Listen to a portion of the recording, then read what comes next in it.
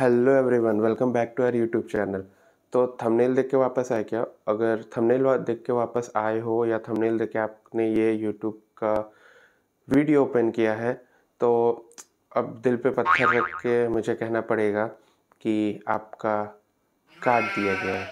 अगर आपको लगता है कि आप डेटा एंट्री जॉब घर पे बैठ के दो से तीन हज़ार रुपये डेली के कमा लोगे तो इसकी सच्चाई जानते हैं। तो आजकल गूगल यूट्यूब फेसबुक इंस्टाग्राम और यहाँ तक कि व्हाट्सएप के मैसेजेस में भी आपको ढेर सारे स्पैम्स वीडियोस और एड्स चलते हुए मिलेंगे, जिनमें वो कहेंगे कि डेटा एंट्री की जॉब करें और पाए दो से तीन हज़ार रुपये डेली के। और वो भी घर बैठे, वो भी दिन में दो से तीन घंटे काम किए हुए। तो अगर ये आपको सच लगता है तो आज हम इसकी असली सच्चाई जानेंगे इस वीडियो में। तो ये काम कैसे करती है? तो ये काम ऐसे करती है कि पहले तो ये खोजते हैं ढेर सारे बकरे। बकरे मिलते हैं इन्हें। फिर ये क्या करते हैं? फिर ये आपको कहेंगे कि यार, मेरी कंपनी में ऑन बोर्ड हो जाओ। ये आपकी नॉर्मल ऑन बोर्डिंग करेंगे, जैसे नॉर्मल कंपनियों की, बाकी कंपनियों की होती है। ये वैसे ही ट्राई करेंगे आपको ऑन बोर्ड करने का। आप एक बार ऑन बोर्ड हो जाते हो। फिर ये आपको ट्रेनिंग के नाम पे कुछ पैसे मांग सकते हैं। नहीं भी मांग सकते वो हम बाद में जानेंगे। तो वो आपको ट्रेनिंग के नाम पे एक पीडीएफ या ज़्यादा से ज़्यादा आपको एक लिखी हैंड नोटबुक में आपको एक सामान देंगे टाइप किया हुआ कुछ कि एम एस ऑफ़िस कैसे यूज़ करें या उनका कोई स्पेसिफिक टूल है तो वो कैसे यूज़ करें। फिर ज़्यादा से ज़्यादा हफ़्ते भर की ट्रेनिंग के बाद फिर क्या स्टार्ट होगा? फिर स्टार्ट होगा आपको काम देना।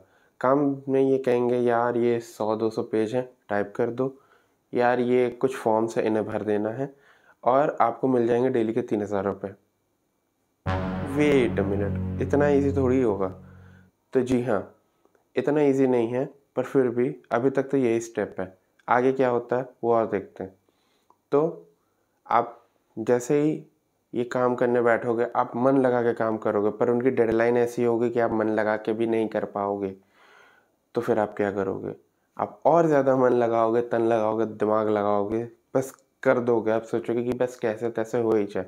तो अगर आप डेडलाइन के पहले भी जमा कर दोगे तो इसका कोई फ़र्क नहीं पड़ता। क्यों? क्योंकि इसका एक्नॉलेजमेंट ये तुरंत करेंगे ही नहीं।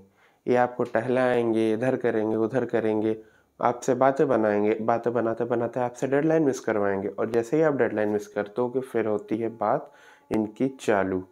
ये फिर क्या करते हैं? आपको जैसे तैसे कहेंगे, यार देखो, तुमने इतनी गलतियाँ की हैं इसको फिर से रेक्टिफाई करो।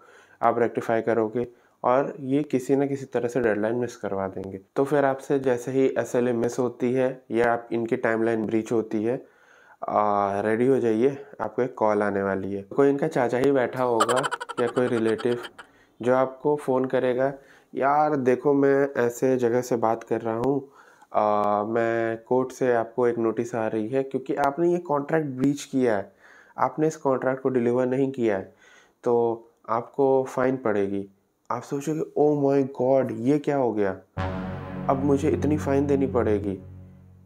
ओ नो मेरे तो पैसे डूब गए। आप टेंशन में फिरोगे इधर उधर मारे, और आप सोचोगे, क्या ना क्या मैं कर लूँ?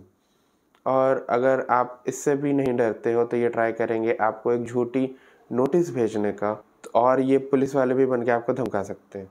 और फिर ये केस क्लोज करने के पैसे मांगेंगे, पैसे नहीं दोगे, फिर भी पैसे मांगेंगे, नहीं दोगे, फिर भी मांगेंगे। हैरस कर देंगे आपको, आप दिमाग पकड़ के बैठ जाओगे। और अगर गलती से पर्सनल इन्फॉर्मेशन दे दी तो एक्सप्लॉयट होना पक्का। ओह तो फिर करना क्या है इसका? तो फिर सबसे पहले हमें तो यही जानना पड़ेगा कि इसको पहचाने कैसे। इसको पहचानने के लिए सबसे पहला जो पॉइंट है, हो सकता है आपको बुरा लगे, पर यह सच्चाई है और सच्चाई बोलने में और सुनने में बुरा लग सकता है पर सच्चाई सच्चाई होती है। आपको तो पहले ये जानना पड़ेगा कि आपके पास जो स्किल्स हैं अभी क्या वो स्किल्स से आप इतने पैसे कमा सकते हो? अगर हाँ तो ठीक है अगर ना तो फिर आप समझ जाओ। दूसरी चीज़ आपको जो ध्यान रखनी है इनको पहचानते वक्त कि ये आपको कोशिश करेंगे जल्दी से जल्दी ऑन बोर्ड करने का।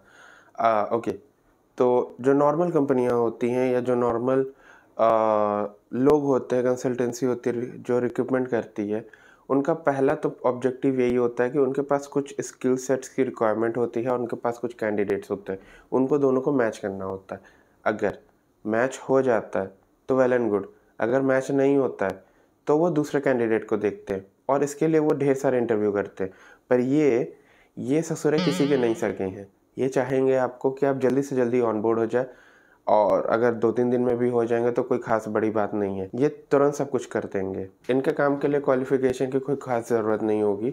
और ये जब कहते हैं कि यार, आप मेरे कंपनी को ज्वाइन करो और आपको क्विक मनी मिलेगा, जल्दी पैसे मिलेंगे तो या दो से तीन घंटे काम करके ढेर सारे पैसे कमा लो, या अनलिमिटेड पैसे कमा लो तो आपको समझ आना चाहिए कि नहीं, यहाँ पे तो कुछ गलती है, इसके आगे जो है सही नहीं होने वाली है चीज़ें।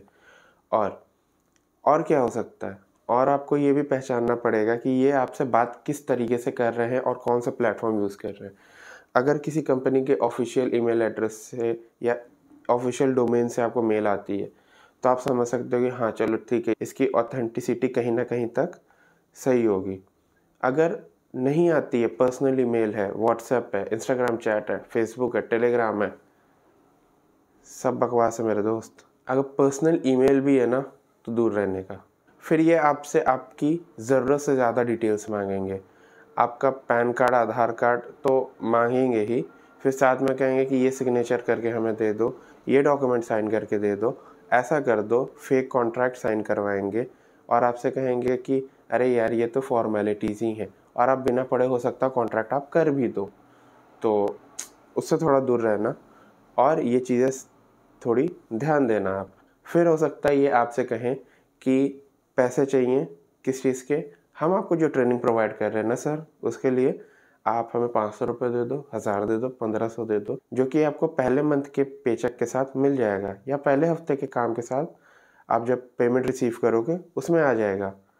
तो ये तो सबसे ही बड़ा स्कैम है कि आपको पहले कभी पैसे नहीं देने हैं और बाद में भी पैसे नहीं देने पड़ते हैं। अगर आप किसी अच्छी कंसल्टेंसी से कोई भी जॉब ज्वाइन करते हो तो बी हंड्रेड परसेंट श्योर कि वो आपसे सामने अपफ्रंटली पैसे नहीं चार्ज करेंगे। वो जिस कंपनी के लिए आपको रिक्रूटमेंट कर रहे हैं, उससे पैसे वो खुद चार्ज कर लेंगे। तो इनसे फिर बचना कैसे है? तो आपको जितने भी लुभावने एड्स दिख रहे हैं, उन पर प्लीज़ क्लिक ना करें। आपको जो भी काम करवाया जा रहा है या करवाया जाना होगा, उसका आप रिटर्न कम्युनिकेशन ले, एक प्रॉपर रिटर्न कम्युनिकेशन और अगर आप इन सब चीज़ में फंस भी जाते हैं तो चिंता की कोई बात नहीं है। क्योंकि इंडिया में बॉन्डेज लेबर इलीगल है। और कोई भी ऐसा कॉन्ट्रैक्ट जो कि आपके कंसेंट के बिना हुआ है, वो वॉइड है। तो क्यों टेंशन ले रहे हो यार? टेंशन नहीं लेने का। और हमेशा ध्यान रखना है, पैसे नहीं देने। कोई भी तरह के पैसे आप इसमें नहीं दोगे तो नहीं दोगे। और जो कंपनी आपको हायर कर रही है, उसके बारे में आप बैकग्राउंड डिटेल चेक करें वेरिफिकेशन करने की कोशिश करें। गूगल पे सर्चेस करें अलग अलग तरह के कीवर्ड्स लगा के सर्चेस करें। स्कैम कीवर्ड्स तो ज़रूर लगा के सर्च करें। फिर अगर आपको लगता है ये जेनविन है तो आप उसके साथ जा सकते हैं। तो इसी के साथ आप जान गए कि आपको कैसे स्कैम से बचना है और मेरा भी वीडियो इसी के साथ ख़त्म होता है। मिलते हैं आपसे अगली वीडियो में। तब तक के लिए बाय